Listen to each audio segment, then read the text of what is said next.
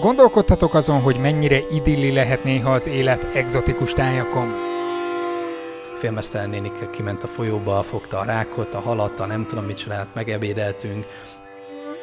És mi mindent vállalnátok be ezért? De akkor végig kell menni mondjuk egy fogreszelési ceremónián, ahol lereszelik a, a felső fogsorod első hat fogát.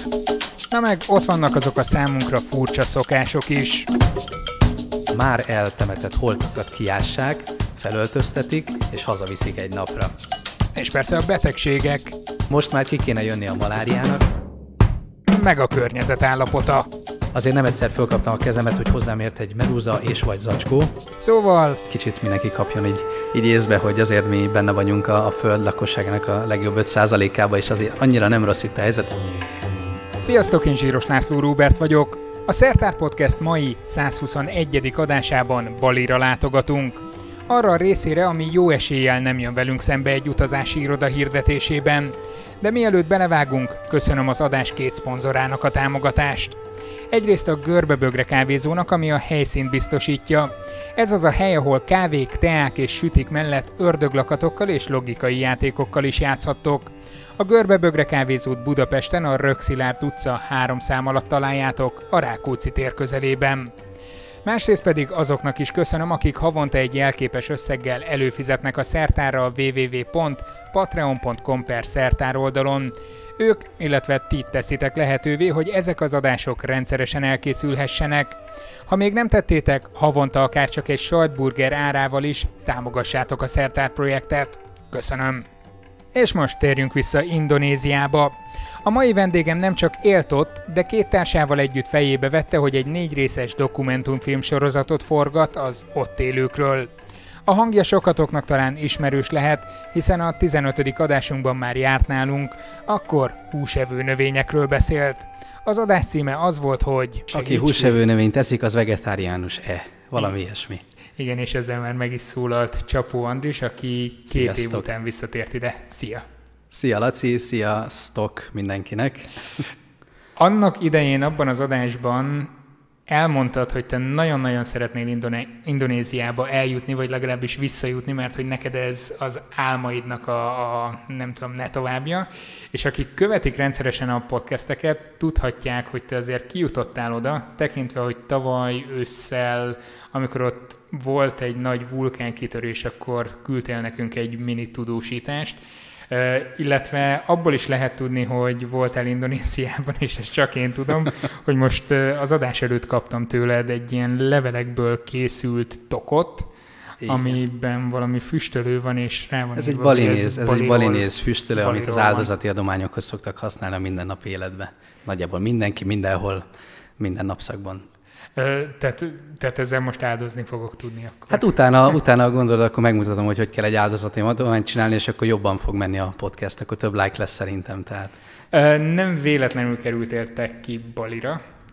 Erről mesélsz nekünk egy picit. Persze. Um, hát igaziból én már nagyon régóta forszíroztam ezt a dolgot. Az az igazság, én először akkor 2015-ben voltam kint Jogjakartába két hónapot, és akkor kvázi turistaként, egy két hónapos eh, turista vízummal voltam kint, az egyik barátomnál laktam, tehát ilyen teljesen low budgetben, eh, helyiekkel laktunk, helyi ételek, helyi szokások, minden.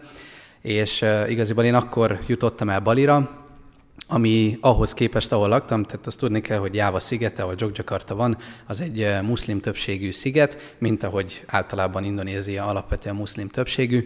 Várjál, most én azt mondanám, hogy nagyon-nagyon felkészült vagyok és tájékozott, de Igen. mielőtt jöttél, én próbáltam utána nézni egy kicsit úgy amblok Indonéziának, és mintha ott az lett volna, hogy azon a környéken, ahol te most voltál, ott főleg hindu. Igen, igen. E- Ezzel akartam befejezni a mondatot, Ja, oké, bocs. hogy én a muszlim szigetre átmentem Balira, ahol pedig hindu vallás maradt meg, ami az úgynevezett balinész hinduizmus, aminek a gyökerei azok Indiából származtatóak, de a, a balinéz, animista gyökerekre épült rá.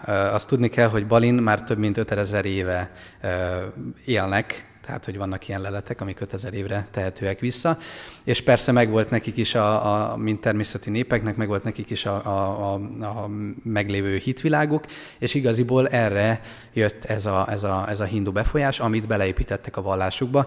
Tehát nagyon sok közös dolog van az indiai eredeti, vagy hát eredeti, tehát ott is azért elég sok réte van ennek, de hogy a, a, az indiai hinduizmussal egyszerűsítsük le ezt ennyire, de megvannak persze az animista szokások is ugyanúgy. És az, hogy most kijutottál, annak volt azért konkrét célja is, tehát szerettél volna Igen, egy tehát, tehát visszatérve én, én, én azon gondolkodtam, hogy hogy lehetne akkor ide visszajutni, Balira hosszabb távra. Akkor most lelőttem előre, hogy dokumentumfilmről lesz szó, igen. Remélem belefér az adás Igen, szóval, szóval én megpályáztam ugyanazt az ösztöndíjat, ez a Dharma Siswa nevű ösztöndíj, amit a Kristóf barátom, akinél kim voltam, és hát szerencsére elnyertem, és olyan nagy mázlim volt, hogy én Balira kerültem. Uh, amúgy ezt mindenkinek... Ja, akkor te ott nem választatsz, hogy hova mész, hanem kapsz egy ösztöndíjat, aztán jutsz Úgy valahova? működik, hogy, hogy tehát írni kell egy motivációs levelet, önéletrajzolt, miért szeretnél kimenni, papírokat beadni, tehát mint egy normális pályázatnál, ezt amúgy az indonéz nagykövetségen kell elintézni, és megjelölhetsz két egyetemet. Én az egyiket azt Balira, a másikat csak Jakartára jelöltem annó, és én Balira kerültem. De egész Indonéziában rengeteg egyetem van, ahova lehet menni. A Földön azt hiszem, hogy 650 ember kapja meg ezt az ösztöndíjat évente. Neked a mesterszakod tudománykommunikáció, nem tudom mi az Igen. egészen pontos megnevezés. Az Tudománykommunikáció a természettudományokban MSC. Köszönöm szépen. Előtte biológus voltál? Én voltam két évig biológus, de ott összevesztem a biokémiával, és végül környezettan diplomát szereztem meg, ott pedig természetvédelem szakirányon. Na, ezek után mit tanultál te Indonéziában? Na, hát ezek után én nyelvet tanultam, indonéz nyelvet, és tehát ezt úgy mondják, hogy Bahasadam Budaya, ez azt jelenti, hogy a nyelv és kultúra. Tehát igaziból, hogyha ha csak ezt az ösztöndíjat veszük, akkor nehéz összekapcsolni az előző tanulmányaimmal, viszont nekem volt egy ilyen egy ilyen eh, rejtett célom, hogy én eh, el, el, tehát hogy én felfedezem ezt a világot, és eh, egyrészt nekem célom volt, hogy megmutassam az embereknek, hogy ott milyen az élet, hogy itthon milyen az élet, és hogy kicsit mindenki kapjon így, így észbe, hogy azért mi benne vagyunk a, a föld lakosságának a legjobb 5%-ába, és azért annyira nem rossz itt a helyzetünk, mint ahogy ezt szoktuk nap mint nap konstatálni. Tehát ez De volt várjál, a... miért akkor ezek szerint ott, ott rossz volt a helyzeted? Hát figyelj, az, tehát hogyha most azt nézed, hogy én hol laktam, nekem volt mondjuk angol vécém és gázrezsóm, tehát nekem nagyon előkelő életem volt. Egy, kis szobában laktam amúgy, tehát egy ösztöndíjból kibérelve egy, egy, egy kis szobát. Tehát ez nem, nem volt vészes helyzet, de, de, de alapvetően az indonéz emberek nagyon-nagyon nagy szegénységben élnek. Meg amúgy ez megint egy nehéz kérdés, nehéz úgy beszélni valamiről, hogy az indonézek. Mert azt tudni kell, hogy Indonézia alapvetően 17 ezer szigetből áll, és több mint 170 nyelv van. Tehát uh, Indonézia az körülbelül egy ilyen 60-70 éve, most nem tudom pontosan, 60-70 éve uh, független, um, és hát ez eléggé egy ilyen összekapcsolt uh, sziget együttes és voltak olyan területek, ahol felhőkarcolók között sétáltam, és volt olyan a dzsungelben, ahol meg félmeztelen benszülöttekkel, és ez a kettő ugyanúgy indonéz. a tetoválást. Csináltuk a tetoválást. Vagy nem, ez, ez már publikus? Ja igen, publikus, ezt, publikus. ezt csak azért vetettem fel, mert hogy én követlek téged Instagramon, mm-hmm. nézem mindig az Instasztoriaidat, és Aha. emlékszem, hogy ott küldtél át nekem egy olyan videó részletet a készülő dokumentumfilmből, ami még nem publikus, és nem emlékeztem, hogy ez a tetoválós igen, történet igen. ez ott volt, vagy... Igen, hát igaziból ez most most úgy működik, hogy amit a filmhez vettünk föl, videóanyagot, azt még nem publikálhatjuk. Itt még azért folyamatban van egy-két szerződés tervezet STB, STB. Viszont képanyagokat azt publikálhatunk, tehát igaziból a story, a storyline, meg amerre jártunk, meg amikkel találkoztunk, az nagyjából elérhető mind a Facebookon, mind pedig az Instagramon, vagy hát a YouTube csatornán is. Tehát igaziból Ezt ilyen... fogom linkelni majd az adásra. Köszönöm szépen. szóval igaziból nyomon lehet követni, hogy merre jártunk, mit csináltunk, folyamatosan osztunk meg erről anyagokat, de természetesen hát azért a, a lényeget azt meg kell tartani a, a, az elkészült dokumentumfilmre. Tehát, hogy csepegtetjük az információkat, és ilyen volt persze a törzsi tetoválás is. Na mindjárt visszatérünk a dokumentumfilmre, viszont ott hagytad valahol abba, hogy 17 ezer szigetből áll ez a szigetcsoport, ez az ország, akkor koncentráljunk inkább csak Balira, hogy az mennyire homogén. Jó, ö, igaziból még az se homogén, mondhatjuk így. Az, a, hindu vallásból adódóan itt is megvan a kasztrendszer, viszont ez is teljesen más, tehát nem olyan, mint mondjuk Indiában, hogy vannak az érinthetetlenek, törödöm, törödöm, hanem ez már igaziból csak akkor veszed észre, hogyha ha tényleg ott élsz velük, és vannak helyi ismerőseid, barátaid, eljársz ceremóniára, tehát megvan az, hogy ki lehet pap. De mondjuk az indonéz, vagyis hogy a balinéz világból ott külön kalendárium van. Tehát ne kérdezz, hogy hogy iszonyatosan bonyolult, tehát teljesen máshogy vannak a hetek, viszont nekik megvan az, hogy mondjuk ezen a héten lehet temetést tartani, azaz, hogy egy hamvasztási ceremóniát, mi ott, hogy a hinduk hamvasztanak. Megvan az, hogy melyik héten mehetsz fodrászhoz, hogy az jó legyen. Megvan az, hogy melyik héten házasodhatsz, melyik héten lehet ilyen-olyan ceremónia. Tehát, tehát még igaziból a bali még a Bali nagyon különböző, mint alapvetően Indonézia, mint kulturálisan, mint turisztikailag, mint szokásilag, mint hitvilágilag, minden szempontból, de még a Balin belül lévő világ is azért szerteágazó, hiszen Balin is megtalálhatók, főleg a, a nyugati részén muszlim vallásúak, akik főleg Jáváról vándoroltak át, illetve az északi részén elég sok keresztény van, és megtalálhatók még buddhisták is. Tehát, hogy egy ilyen, egy ilyen nagy világbéke kvagyfasz helyszín. Most, most azon gondolkodtam, amikor még a kasztrendszert ecsetelted két és fél mondattal ezelőtt, hogy, hogy milyen a rendszeren kívülről oda menni. Vagy hogyan viszonyulnak hozzád, vagy ezt, ezt hogyan Hát figyelj, ö, igaziból azt mondhatom, hogy nyugati emberként oda menni ö, nagyon jó. Tehát igaz, hogy azt hiszem 350 évig holland gyarmat volt, viszont ők nem úgy tekintenek a fehér emberre, mint egy, nem tudom, elnyomó zsarnok, hanem, hanem mindenki kedves. És ez nem csak azokon a területeken, ahol a turizmus elterjedt. Tehát én voltam olyan szigeten, ahol így, így nem nagyon láttak fehér embert az elmúlt hónapban, vagy tödöröm, tödöröm, és így ugyanúgy mindenki mosolyog, kedves, fotózkodik veled, átölel, Mr. Bro, boss, jönnek a megszólítások, minden, mindenki megpróbálja azt a három-négy angol szót elejteni, amit megtanult az élete során, és akkor nagyon mosolyog és ölelget. Tehát egy igaziból van egy szavuk rá, amúgy ez a bulé, ez azt jelenti, hogy a, a nyugati turista, de persze bele tartozik Ausztrália is, tehát nem földrajzilag hát nyugati, a nyugati hanem világ, a, a nyugati világból érkező emberek. Szóval igaziból ott jó, jó ilyennek lenni.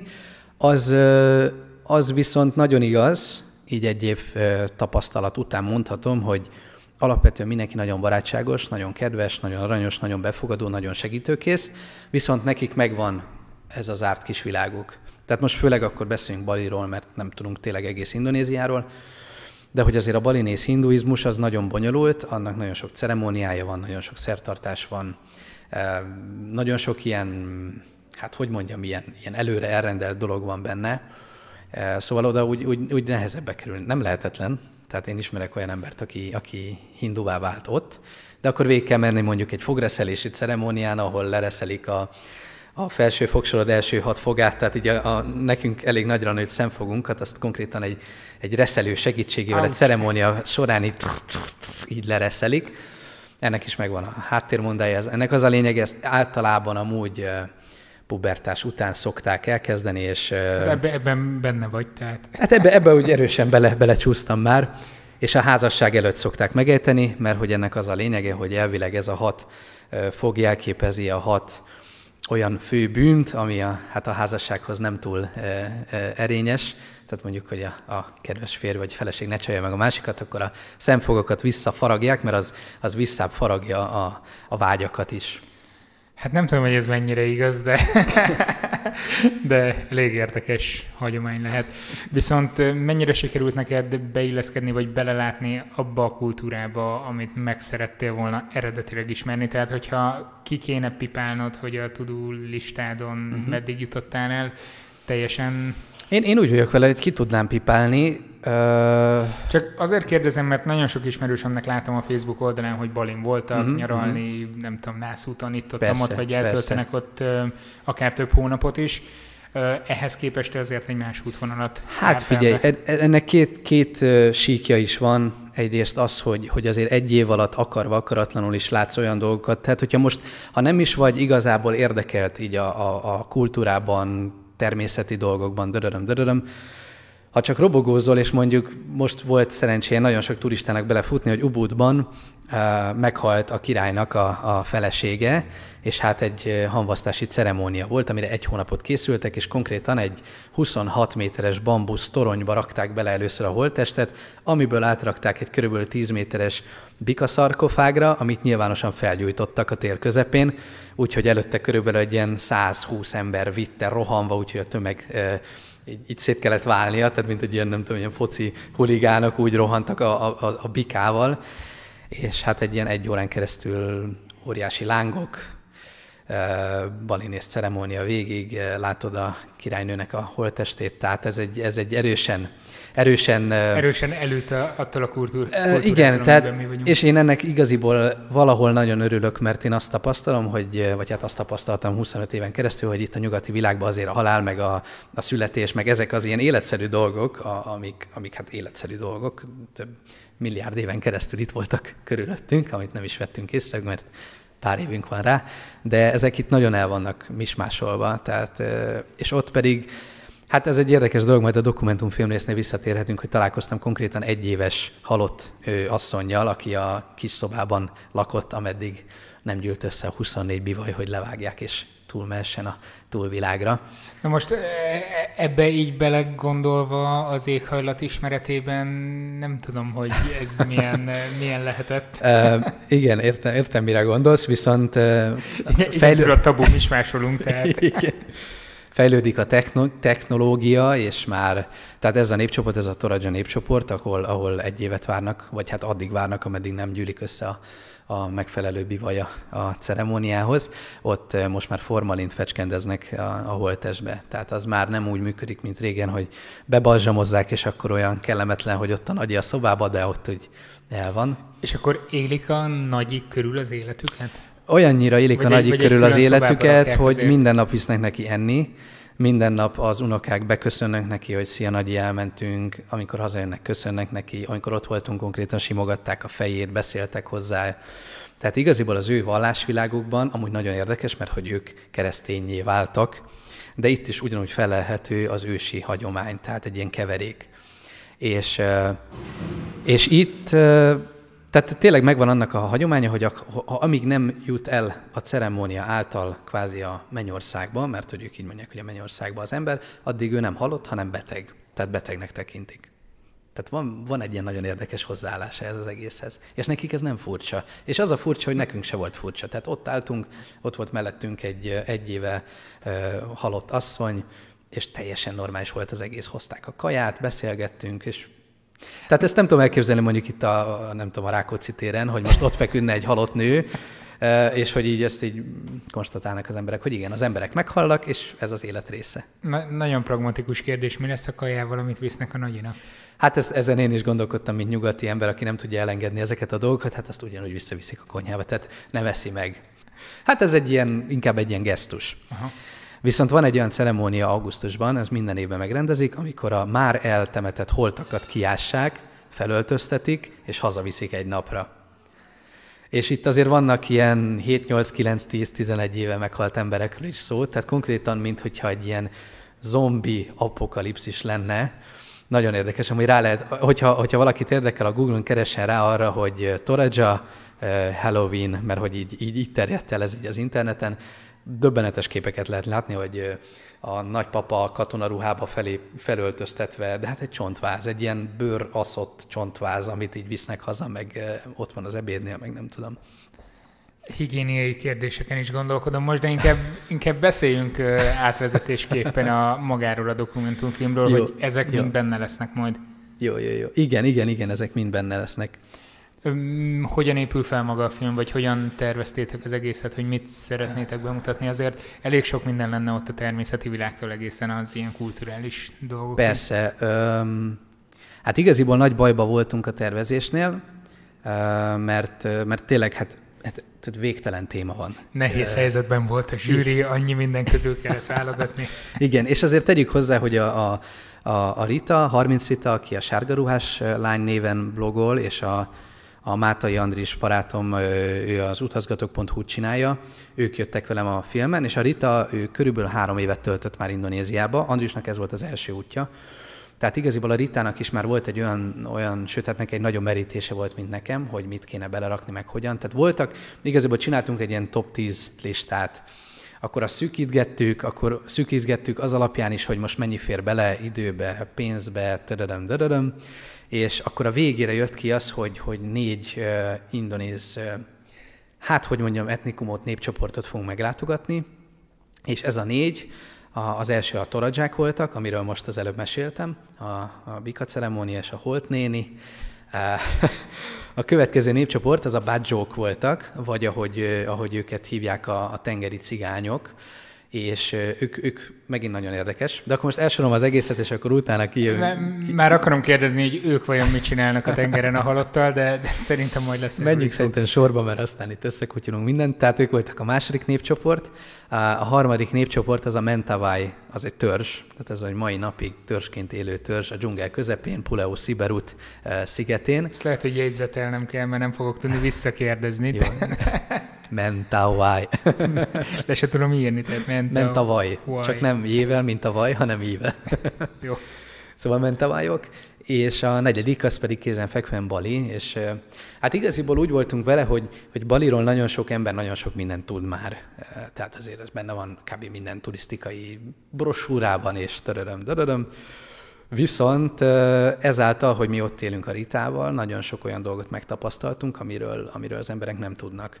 Tehát mi azt tettük itt, vagy azt tűztük ki célul, hogy megmutassuk az embereknek, hogy mi van kvázi Bali turista leple alatt vagy mögött, tehát hogy tényleg az emberek hogy élnek. Tehát elmentünk egy olyan, olyan családhoz, egy balinész családhoz, akivel beszélgettünk különböző ceremoniákról, szó esik amúgy erről a, a királynő hamvasztásról is, rizs aratási ceremónia, ahol konkrétan bivaj futamok vannak, tehát rengeteg olyan dolog van, fogreszelési ki, ceremónia, ki, ki arra gyorsabban termelési uh, vetélkedő? Hát ne, nem, nem ilyen szempontból, konkrétan úgy néz ki, mintha Ben Hurba lennél, tehát ilyen bivajfogatok vannak feldíszítve, csak így a, a kerekükön szerencsére nincsen ez az ék, ami meglincseli a másikat. De hát tehát az is eszméletlen. Tehát azt tudnék, hogy Indonéziában semmi nem biztonságos, ezt így kijelenthetem. És amikor van egy ilyen rendezvény, az végképp nem. Tehát így konkrétan nem az, hogy stadion van, vagy kordonok, hanem így van egy földút, ahol így futnak a bivajok, és így, és így simán kisodródnak, meg kieshetnek, meg minden ilyen több tonnás állatok. Tehát ez Mi a helyzet a vagyonbiztonsággal? A vagyonbiztonság viszont meglepően jó.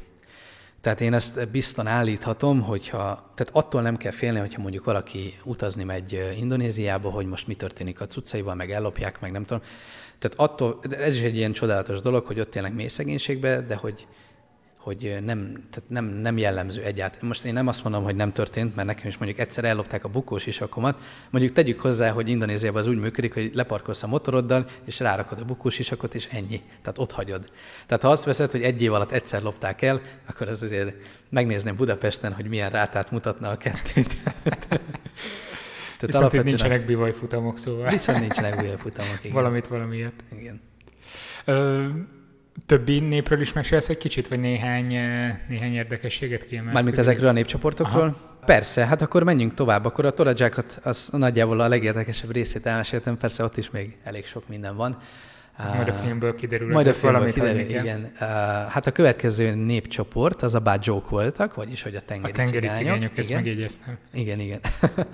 És nagyon érdekes népcsoportról beszélünk, ez eredetileg nem indonéz hanem nekik a, a gyökerük az a Fülöp-szigetekről van. És, Azt hittem Amerika, mert hogy otthonos a tengeri. Nem, nem jársz messze amúgy, nem jársz messze az igazságról, mert most már Amerikában is élnek egy bizonyos helyen. Uh-huh. Az a lényeg, hogy ők alapvetően a Fülöp-szigetekről indultak, és az a legendája, hogy volt egy király, aki elvesztette a négy fiát, és elküldte az embereit, hogy keressék meg a négy fiát, és, és hát ők az elmúlt hát nem akarok hülyeséget mondani, de azt hiszem, hogy több mint 500 éve a tengeren éltek. Tehát ők bárkákban éltek, és természetesen kiártak a szárazföldre elcserélni a halat, más zsákmányra édesvizet szerezni, stb. De ők alapvetően a tengeren élték az életüket. És most egy, azt hiszem, hogy 45 évvel ezelőtt telepettek le Indonéziába, Sulawesi délkeleti részén, a Wakatobi Nemzeti Parkba. Mi a Wakatobi Nemzeti Park Vangi Vangi szigetének Vancsi falujában voltunk. Meg se kérdezem, hogy bírtad megjegyezni ezt a rengeteg nevet. Azért ezt elgyakoroltam, párszor itt a villamoson idefele. Szóval igen, szóval ott találhatóak meg egy helyen Indonéziában, és még egy helyen Észak-Szulavézin, viszont megtalálhatók a Fülöp-szigeten, Madagaszkáron, és Japánban és Amerikában. És minden évben Vakatobi Nemzeti Parkban van egy kvázi egy ilyen éves találkozójuk, amikor az egész világról átjönnek ide, és akkor itt megünneplik azt, hogy ők a badzsók. És nagyon érdekes. Hagyományos párkákban átöveznek. Hát azért ide már talán nem hajókkal jönnek az ilyen törzsfőnökök, de, de, de tényleg itt találkoznak, és nagyon érdekes, mert ugyanazt a nyelvet beszélik. Tehát ennek semmi köze nincs az indonéz nyelvhez. Uh-huh. Tehát aki indonézül beszél, nem érti őket. Ők már kezdik megtanulni az indonészt, mivel hogy elég sok összefüggés hogy van az életük között. A kommunikáció általában úgy zajlott, hogy, hogy indonéz nyelven, tehát a Rita is egész jól tud indonézül, én hát úgy tanultam egy évig indonézül, tehát úgy el tudok velük beszélgetni, és nem mondom, hogy a, a vallás mélységéről el tudnék filozofálni. de azt láttam így... valamelyik videódban YouTube-on, hogy, hogy valami házi nénivel ott beszélgettél, aztán Igen, igen. Hát igen, tehát, hát ezek, ezek az alapvető dolgok, ezek már elég jól mennek, tehát így már meg, megélek Indonéziában. Uh, szóval alapvetően így, de mi úgy csináltuk meg a dokumentumfilmet, ez egy alappillére, hogy olyan embereknek szeret, vagy tehát olyan helyeket kerestünk fel, ahova bárki eljuthat, aki tud angolul, és persze megvan benne az, hogy kilépjen a komfortzónájából, mert azért tegyük hozzá, hogy itt ki kell. Tehát minden egyes helyszínen volt olyan ember, aki angolul guide tudott minket. Ez nem biztos, hogy az adott népcsoportnak az embere volt, viszont olyan indonéz ember, aki ismeri ezt a törzset, népcsoportot, stb., és el tud téged vinni, hogyha te tudsz angolul beszélni. Tehát ez egy alapvető ilyen kritérium volt, hogy most ne csak bemutassuk, hanem tényleg elérhetővé tegyük, meg, meg lehetővé tegyük az embereknek, hogy ők is oda tudjanak menni, és meg tudják ismerni. Az egy dolog, hogy mondod, hogy mindenki nagyon barátságos, befogadó, uh-huh. de gondolom más az, amikor odamész turistaként vagy vendégként, ahhoz hogyan viszonyultak, hogy egy kamerával álltatok eléjük, és kezdtétek venni a mindennapjaikat? Igaziból arra is teljesen jól. Tehát persze azért itt, itt, itt megvan az, hogyha valakinek kamerája van, meg esetleg nagyobb felszerelése, mondjuk tegyük hozzá, hogy mi három kamerával mentünk, ilyen kis mm, kézi kamerákkal, és csiptetős mikrofon és törödöm, tehát nem egy stábot kell elképzelni, hogy ott loholunk a dzsungelbe serpákkal, de azért bennük van az, hogyha valaki kvázi forgat, akkor az biztos, hogy gazdag, meg tévére, meg nem tudom. Na most a mi költségvetésünk az egy, bár volt három szponzorunk, nem tudom, itt meg lehet említeni. Említsd meg őket. A, a Panasonic-tól kaptunk egy nagyon jó kamerát kölcsönbe, ami tényleg nagyon nagy segítség volt. Tehát az én kamerámmal azért nem lehetett volna annyira minőségit összehozni, mint azzal a Lamax-tól is kaptunk két kamerát, ami pont ennél a, a, a vízi cigányunknak tök jól jött, hogy, hogy, hogy a gyerekekkel be tudtunk ugrani a vízbe, és ilyen víz alatti felvételek, és kiélhettem az operatőri eh, kis, kis eh, elképzeléseimet. És ami a legnagyobb segítség, az pedig a Vista utazási irodától volt, mert ők eh, fizették a belföldi repjegyeinket. Tehát ezt nem kellett állnunk, és valószínűleg enélkül nem jöhetett volna létre ez a, ez a dokumentumfilm, mert mert így is azért nagyon mélyen a zsebünkbe kellett nyúlni, tehát mindenki beleölt iszonyat sok pénzt ebbe, mert azért fizetni kell a guidokat, meg oda jutni, meg étel. Ja igen, és ez egy nagyon nagy nehézség volt, eh, amit hozzá kell tenni, hogy mi júniusban forgattunk, június közepétől, pedig Ramadán van, ami, ami hát eh, aki nem tudná hallgatók közül, ez azt jelenti, hogy nappal nem lehet enni és inni, eh, cigarettázni és egyéb élvezeti eszközökhöz nyúlni. Szóval ez így erősen megnehezítette a dolgot. Nem is azért, mert mi se ehettünk volna, mert valószínűleg, hogyha most leülsz egy sarokba és megeszed a kis májkrémes szendvicsedet, akkor senki nem fog uh, rátszólni, de hogy nem volt nyitva semmi. Uh, tehát, hogy olyan szigetekre mentünk alapvetőleg, ahol mondjuk van két-három, hát étteremnek nem mondanám, de hogy egy ilyen utcai kajálda, és ezek is zárva voltak. Illetve néha találtunk olyat, ami ugye el volt függönyözve, és akkor ott lehet csalni, Szóval azért ez, ez, ez úgy erősen megnehezítette a dolgunkat.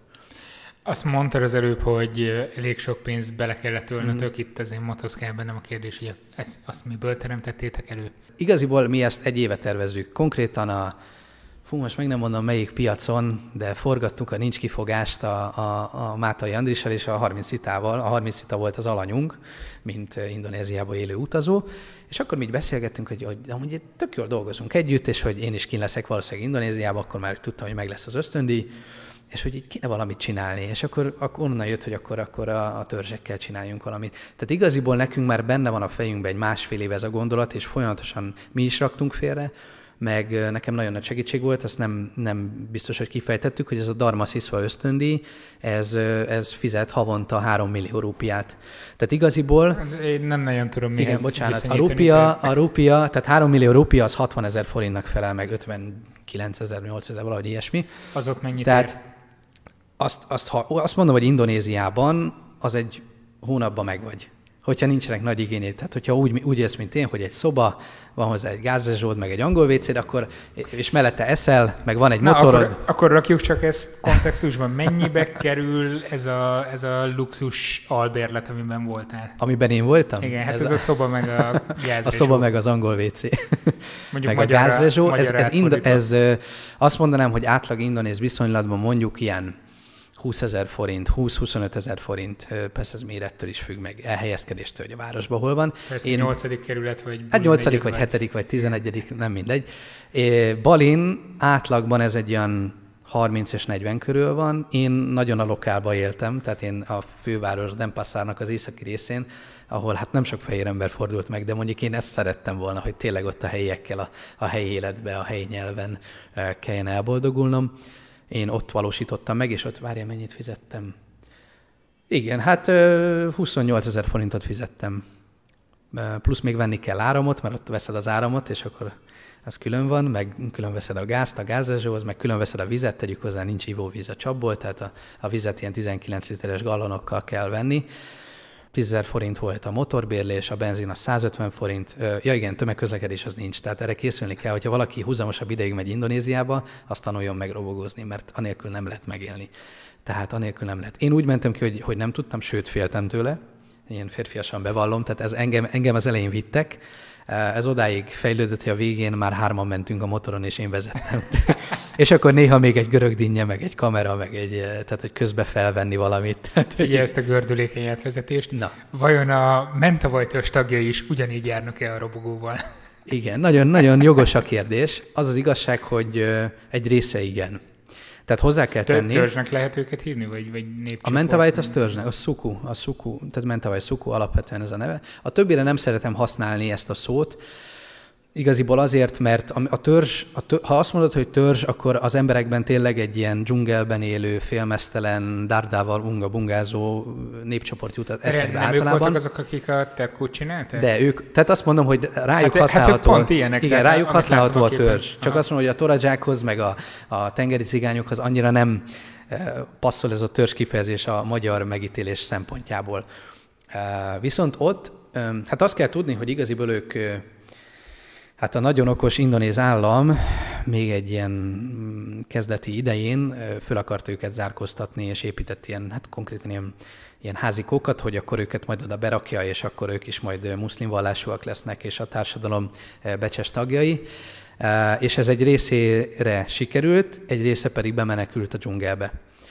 Tehát az az igazság, hogy amikor mi oda mentünk a Mentawai törzshöz, és akkor kanyarodjunk is rá, akkor nekünk az úgy nézett ki, hogy Denpasarból átrepültünk Jakartába, Jakartából átrepültünk Padangba, ez Szumátrán van.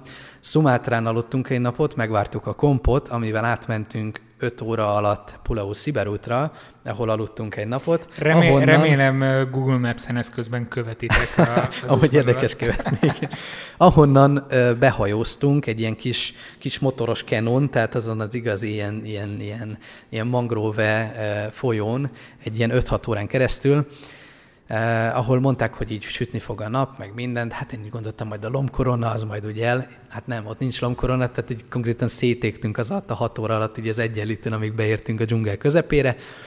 De hát így, így, így beérsz a közepére, és akkor ott is van egy-két falu, amúgy, tehát ott is elterjedt már, hogy van egy-két falu, de mi a faluból bementünk még a dzsungel, tényleg, tehát hogy itt a belsejébe, és ott ilyen szétszórt faházakban laknak, és tényleg amikor így megérkezel, és így jönnek ki a, a, a ház elé, így ilyen ágyék kötőbe széttetoválva, fonott láncokkal, és, és tudod, úgy, úgy, úgy alapvetően én már így kutató munkát végeztem, és, és hát tudod, hogy néztem a képeket, hogy, hogy hát azért úgy oda megyünk, és akkor így, így most ez a, tudod, ez a mentalitás, akkor most hogy megesznek, meg, meg, meg, meg, majd nem tudom, mi fog történni velünk és azt kell mondanom, hogy ők voltak a legjobb humorérzékkel megáldva, e, iszonyatosan jó fejek voltak. A törzsfőnök az egyből megölelt minket, tehát konkrétan velük egy olyan mély barátság kötődött köztünk, azt tegyük hozzá, hogy általában a turisták, akik, akik tényleg a fejükbe veszik, hogy ők eljutnak eljutnak ide. Eljutnak oda a turisták? Ez, eljutnak, tehát hozzá vannak szokva ahhoz, eljutnak hogy oda a turisták. Jó pofizni kell? Eljutnak oda turisták, de azért tegyük hozzá, hogy ez teljesen más turista, mint aki mondjuk elutazik Balira, vagy akár valahova. Tehát ez nem egy olyan turizmus, hogy akkor a tengerpart, hanem itt tényleg kell, hogy legyen valamilyen szintű fizikumod, kell, hogy legyen valamilyen szintű tűrő, hát nem is valamilyen szintű, tehát egy magas tűrőképességed. Mert tegyük hozzá, hogy ott... Fényezd a... még magad, fényezd. ja, ezt most nem azért mondtam, ezt most tényleg a hallgatók kedvéért mondom, hogyha valakinek eszébe jut, és, és van benne kalandvágy, akkor én nagyon ajánlom, de azért azt tudni kell, hogy, hogy itt a, a földön aludtunk, Mm, van egy-két betegség, eh, folyóban fürödtünk, hát viccért, ezt így mondanom se kell, hogy így nem nagyon. Eh, tehát, hogy itt, itt azért vannak olyan dolgok, amikhez eh, Milyen oltások kellettek, amikor mentél, vagy van hát, igaziból egy ajánlott lista? Hogy... Van egy ajánlott lista, én, én, nem, én nem tudom, én igaziból már úgy kezdtem ezt elhagyni a végén. Tehát én, én három éve beoltattam magam elég sok minden ellen. Most lett volna, amit ismételni kellett, de hát úgy voltam, hogy ja, majd kint megcsinálom, nem csináltam meg. Meg voltunk maláriás területen. Én alapvetően egy dengillázas területen éltem. De... Tedd már meg légy szíves, hogy egy kicsit messzebb ülsz, amikor... Jó, bocsánat. Okay. Ja, nem, tőlem. Tehát nem a mikrofontól. Ja, azt hittem, hogy a hang miatt. Nem, hát figyelj, most már ki kéne jönni a maláriának, pont így a napokban kicsit szédültem, és így gondolkodtam, de, de hát nem, mert itt vagyok, tehát azért ide bejöttem. Lehet, hogy aztán két nap múlva felhívlak, hogy jó, hát akkor majd karanténba megyünk mindketten. Igen, igen. Szóval ennek van, a maláriának van egy 3-4 hetes lapangás ideje, szóval most az már kijött volna. Szóval Néhány adással ezelőtt úgy is volt arról szó, hogy volt már malária Magyarországon, úgyhogy... Na, jó, oké, akkor... Most örülök, hogy az arcomat nem társítják hozzá, egy aribálnak a villamoson, vagy ilyesmi. yeah. Szóval megérkeztetek ehhez a törzshöz, kijöttek ágyékkötőben, teletetoválva, átölelt titeket a törzsfőnök, igen, igen, igen. Tehát igaziból... Uh, úgy és ind... bemutatott a halott nagymamájának, aki ott ült a... Nem, nem, az a, az a toradzsáknál volt. Itt, itt eltemetik a halottakat teljesen tisztességesen. Nem, igaziból úgy, tehát arra akartam e- ezt az egészet kielezni, hogy ide eljutnak turisták, viszont általában tényleg úgy, általában ilyen fotósok, videósok jutnak el ide főleg, tehát nem Marinéni, aki lemenne Horvátországba egy hétvégét, valószínűleg nem fog ennyit elutazni, e, szóval inkább ilyen kalandorszerű emberkék, meg forgatási csoportok, de azok általában csak ilyen egy napra és mi úgy szerveztük le az utat, hogy négy napot voltunk ott, tehát négy, azt hiszem, hogy négy éjszakát aludtunk ott. Tehát mi konkrétan ott a családdal éltünk, minden reggel fölkeltünk, akkor a félmeztelen nénik kiment a folyóba, fogta a rákot, a halat, a nem tudom mit csinált, megebédeltünk, elmentünk az erdőbe, megmutatták, hogy hogyan kell vadászni, mezitláb mentünk a dzsungelbe, mérgezett nyillal lőttek. Rajtad is ágyékötő volt meg? Rajtam nem, mert nehézkes lett volna egy a forgatás, viszont az Andrison, a Mátai Andrison, ő rajta az lesz látható, tehát ezt már így, már, már ha csak valaki egy jót akar röhögni, hogy egy 1,80 magas fehér emberen hogy néz ki az ágyékötő, már annak is tudom ajánlani. Szóval ő, ő abban, abban csinálta végig az egészet. És hát nagyon érdekes volt. Tehát... Ehhez hogy viszonyulnak, hogyha, hogyha felveszed az ő, nem tudom, szokásaikat, ruháikat? Nagyon örülnek neki. Vagy Tehát röhögnek. Most, ők... most egy ottani podcastben éppen ezt tárgyalják ki, hogy itt volt ez a barom. Hát áram nem nagyon van. Hát áram és térerő nem nagyon van, azt hozzá kell tenni. Ez megint egy nehéz, nehézség volt a forgatás szempontjából. Azt hogy oldjátok meg? Úgy oldottuk meg, hogy egyrészt vittünk nagyon sok pót akkumulátort, meg powerbanket, Másrészt pedig volt egy, egy olyan guide aki el tudott menni minden este egy faluba. Tehát ő konkrétan onnan elment egy faluba, ahol este, hát talán 8-tól hajnalig volt valamennyi áram ilyen generátorral, és akkor ott tudtuk feltölteni az akkumulátorokat, a második napra. De hát azért ez, ez sose biztos. Tehát én voltam olyan szigeten, ahol egy hónapig nem volt áram és így meg se. Tehát lehet a nélkül is élni. Lehet, természetesen lehet. Sokkal Senkinek boldogabban erre szokták mondani. Ha abba születsz bele, akkor valószínűleg igen. Mennyire igaz, amit itt uh, szoktak nagyon gyakran mondani, hogy oké, okay, szegénység van, de uh-huh. sokkal boldogabbak, mint mi vagyunk. Aha. Ez megint egy nagyon kényes kérdés, és, és nekem ez igaziból ott, ott jön le, hogy az emberek természetesen így a blog, vlog, meg minden által azt látják, hogy persze, hát én Balin élek egy évet, és gyönyörű helyekre eljutok, és gyönyörű képeket csinálok. Csak természetesen ennek megvan az a háttérütője, hogy, hogy iszonyatosan nagy hát hogy mondjam, komfortzóna kilépéseket kell ahhoz megvalósítani. Tehát, tehát még a, még a balin... lehet, hogy ez a komfortzónádnak a része, hogy te szeretsz ilyen helyekre menni. Tehát... A része, a része de azért, azért, azért el kell, hogy mondjam, hogy egy év után nagyon jó volt hazajönni. Tehát itt az, hogy, hogy, hogy a csapból tényleg ihat az ember, itt tisztaság.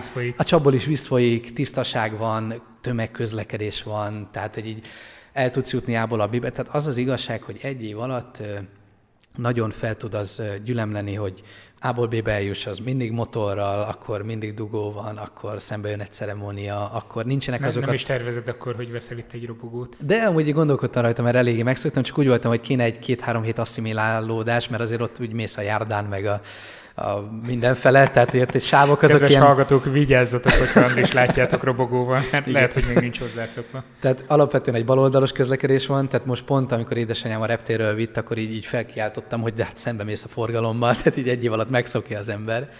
Meg hát a, a sávok azok ilyen, ha van, akkor az ilyen tájékoztató jellegű, igen, hogy javasolta a baloldalon menni, de hát azért bárki bárhol.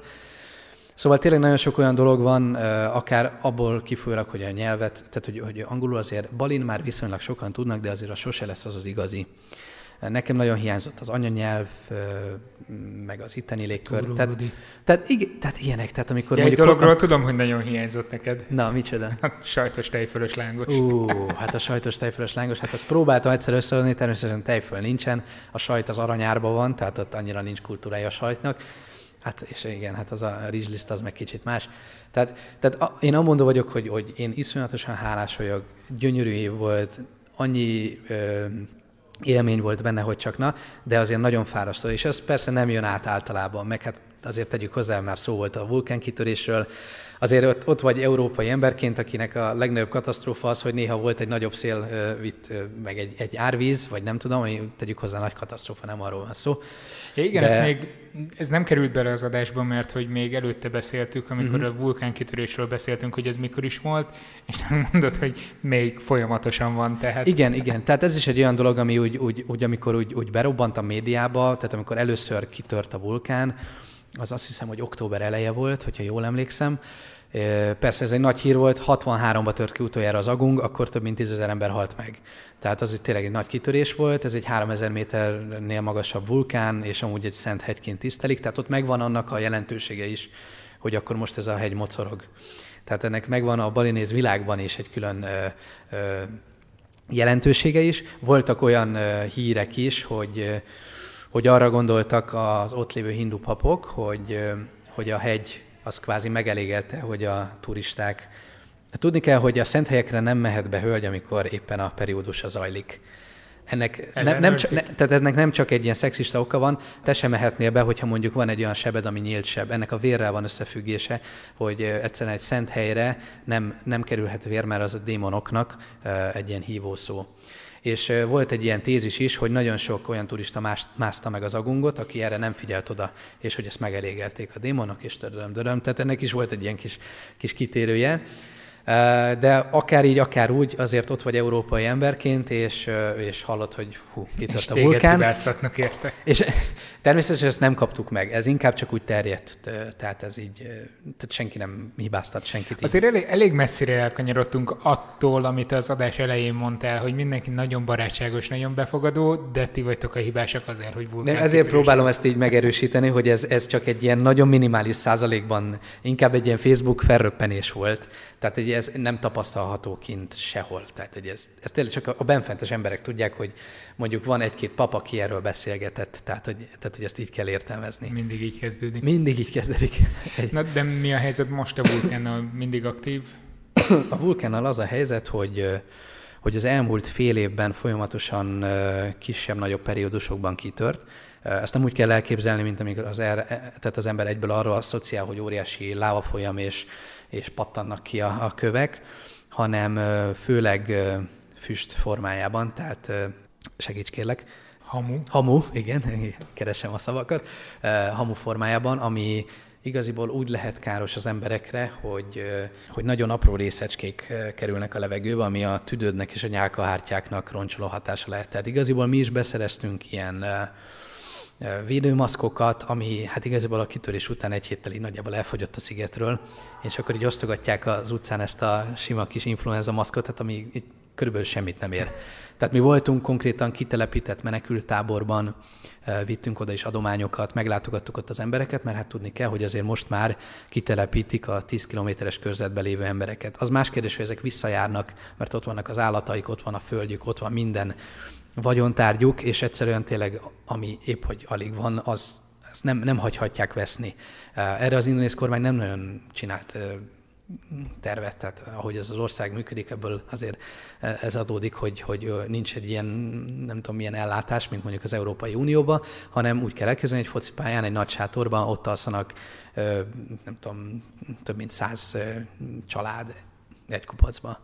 Ez is megjelenik majd a Erről van, erről van egy videó a, a YouTube-ban, ez a dokumentumfilmben már nem fér bele sajnos, mert ez egy annyira külön tematika, hogy ezt nem tudjuk ebbe belesülíteni. Nagyon sok ilyen dolog van, ami, ami nagyon jó lenne, és így nagyon próbáltunk egy kicsit arra is gondolni, hogy esetleg arra rámenni, hogy mennyire megterheli Balit a turizmus, iszonyatosan, tegyük hozzá, tehát konkrétan az esős évszakban a szemetet mossa be az összes faluból, tehát nincs hoz, nincsen szemétgazdaság, tehát hogy van egy szeméttelep, ahol így lehánynak minden, Szerangán szigetén, de hogy így ez, ez, ez nem megoldott, tehát konkrétan az esős évszakban Kuta és a nyugati part az áll a szemétben. Az a tengerpart, ahol a turisták mennek.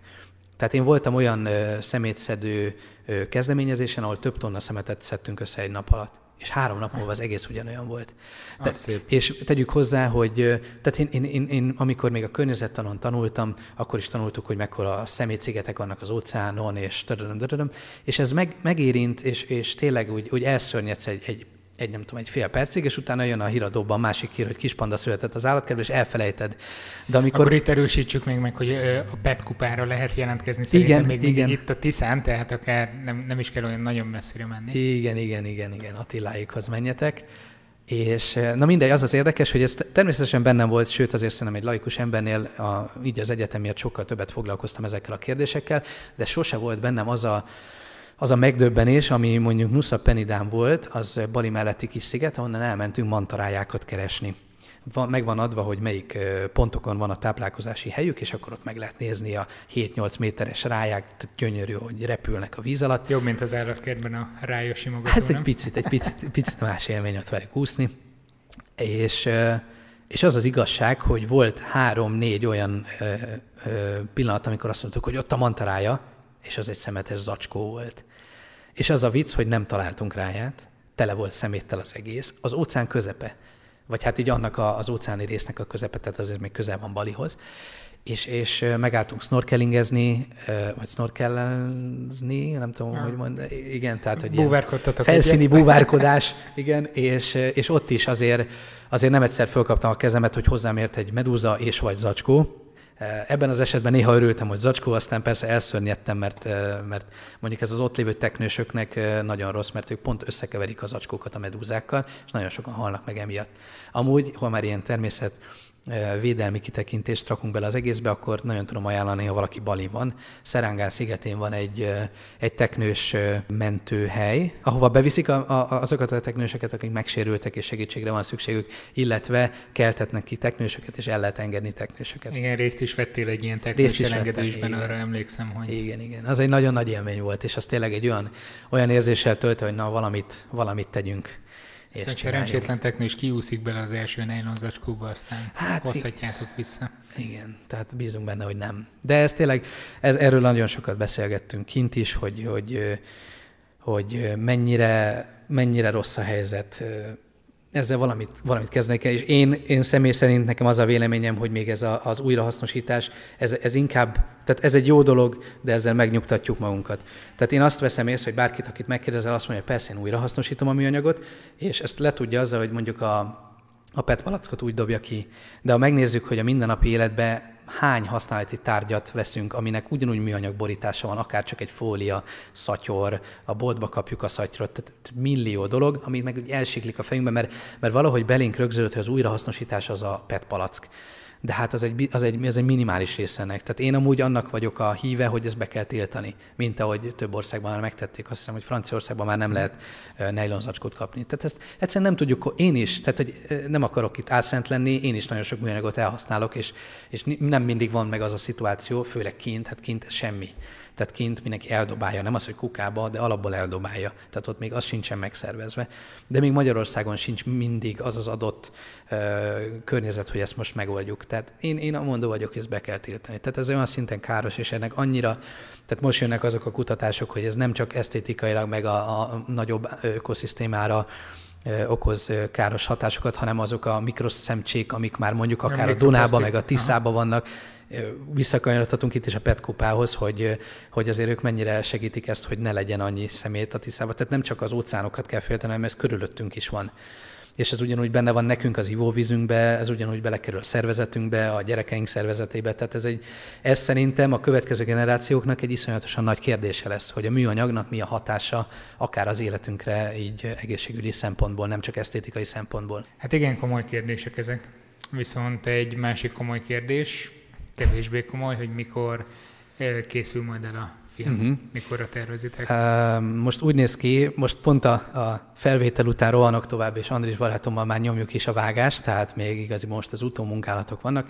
Mi azt tervezzük, hogy augusztus közepére elkészül a film, Uh, természetesen ez a filmszakmát ismerve csúszhat egy picit, uh, de... Hol lesz látható? Hát ezt egyelőre még nem mondhatom el, tárgyalunk tévécsatornával, de egyelőre az van a szerződésünkben. Most azt kéne hogy... mondani, hogy ez a mm, lesz látható, és akkor kisípolom aztán olyan, mint egy benfentes infókat tudnék, de nem én se tudom. szóval egyelőre még, még, még, még, még így házalunk is, meg tárgyalunk is. Bízunk benne, hogy ez természetesen minél több emberhez el fog jutni. Mi úgy gondoljuk, hogy ez egy jó anyag, és, és tényleg van benne valami üzenet. Mm, meglátjuk. Annyit hozzá tudok tenni, hogy azok alapján, a részletek alapján, amit én mm-hmm. láthattam belőle, eszméletlen szép lesz. Köszönöm szépen. Úgyhogy ez mindenképpen jó. Viszont volt egy videó a csatornádon, Igen. azt hiszem talán a legutolsó vagy utolsó előtti különböző emberek mondták, hogy mi az, ami Balint tetszik nekik. Indonéziában, igen. Ja, egész igen, Indonéziában. Igen, igen, igen, igen. mi az, amit te hazahoznál onnan?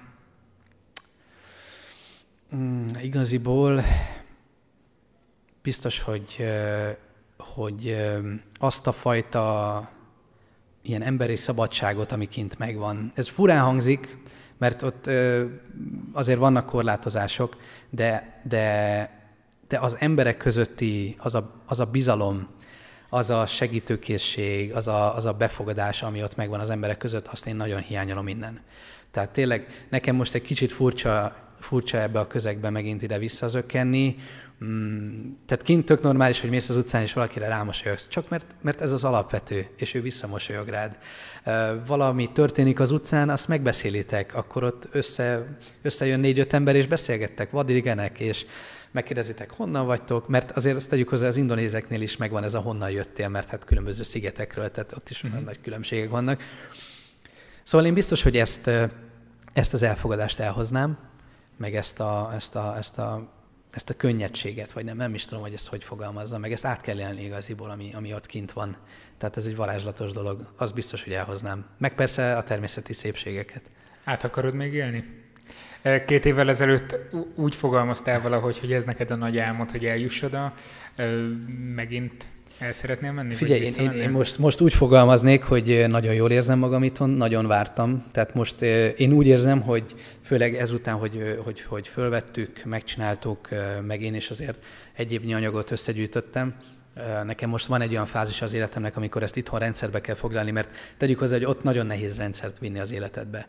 Tehát nagyon meg kell erőszakolnod magad, hogy ott tényleg ilyen rendszeresen tudjál csinálni dolgokat. Tehát én úgy érzem, hogy van ebbe egy ilyen perioditás az életszakaszomba, hogy most egy kicsit itthon kell lenni. Biztos vagyok benne, hogy visszamegyek Indonéziába még, tehát az, az, az, az nem kérdés, tehát nekem ez kvázi második otthonommá vált. Nagyon sok barátom van kint, nagyon sok ö, olyan helyszín, ami, ami kötődik hozzám.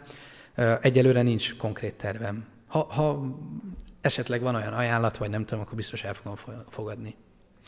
Hát én legfeljebb azt tudom ajánlani, hogy ha legközelebb is mész, akkor megint meg foglak majd hívni. Köszönöm. Köszönöm szépen, hogy itt voltál. Köszönöm szépen. És persze nektek is köszönöm a figyelmeteket, iratkozzatok fel a szertárra Facebookon, Youtube-on, kövessetek Instagramon vagy Twitteren RBLC81 néven, de szerintem Andrist is érdemes követni. Van Facebook, YouTube, Instagram, mindegyik navigátor néven fut, ott megtaláljátok.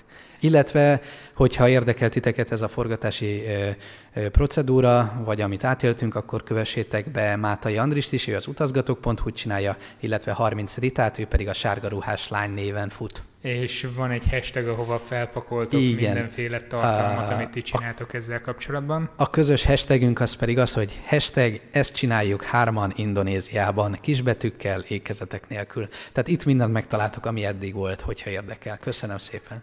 Be fogom linkelgetni az összes hivatkozást az adás alá, úgyhogy nem kell most megjegyeznetek, egyszerűen elég, ha rákattint, rákattintotok, és ha már ott jártok, akkor kattintsatok a Patreon fűrre is, és támogassátok a szertár adásokat. Köszönöm szépen! Ja, és persze a görböbögrének a helyszínt is. Sziasztok! Sziasztok!